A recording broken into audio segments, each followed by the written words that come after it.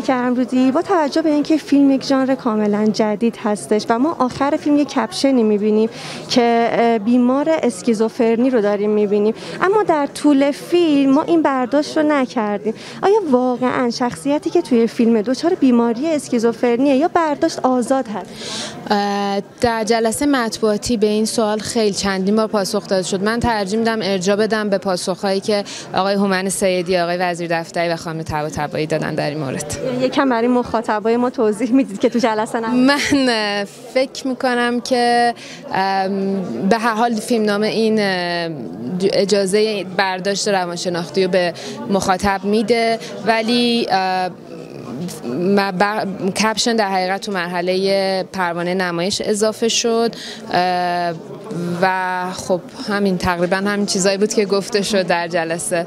بله به هر حال فیلم اجازه برداشت روانشناختی رو میده. اما حالا تا جایی که من در جریان هستم شاید بیشتر سلیقه ایشون این بوده که یه مقدار بازتر گذاشته بشه دست مخاطب.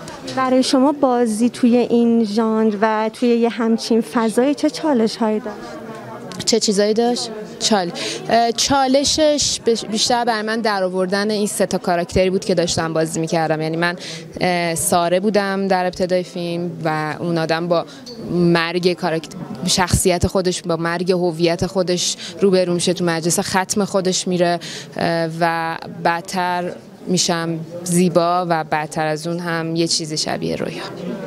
از تجربه همکاری با خانم طباطبایی و آقای ابر هم به ما یکم خانم طباطبایی واقعا بازیگر درجه یک و درخشانی هستند اما من می‌تونم بهتون بگم همکاری تیمی که با هم داشتیم واقعا بی‌نظیر بود. ما واقعا ساعت ها میشستیم راجع به ویژگی های نقشمون حرف می‌زدیم. اینکه چطوری باید به کی به کی کی تبدیل میشه و اینا خب مستلزم کار گروهیه که خب خانم طباطبایی واقعا درجه کندن زمین. صابر ابر توی مؤسسه کارنامه استاد من بوده و من خیلی ازش یاد گرفته بودم قبلا. ولی اینجا هم ازش همچنان به یاد گرفتن ازش ادامه دادم.